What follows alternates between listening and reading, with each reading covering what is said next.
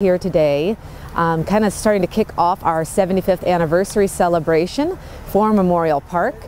Uh, to help bring people to enjoy the park for the 75th anniversary, we uh, brought in the sculpture Embracing Peace by Seward Johnson. And this is a piece that Seward created to remind uh, people of the unity and joy of the day in Times Square, of VJ Day, which is timely appropriate to the creation of the park seeing that that was also in the 40s. So paying homage to the park's history and also bringing in an iconic piece that lends a nod to that time. There are four of these larger than life sculptures.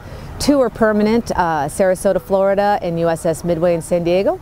Then there are two traveling. We have the one here in Omaha through November 15th and then the other one currently is in Italy. So the new plaza that has been constructed um, is, has been very well thought out. And so it's a fully accessible 2,500 square foot plaza.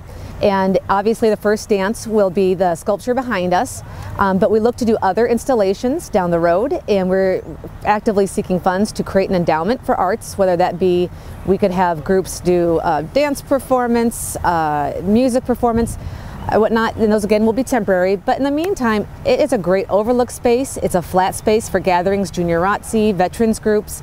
It's handicap accessible, and also for the Memorial Park concert, it gives a great space for those that have mobility issues, um, a good view.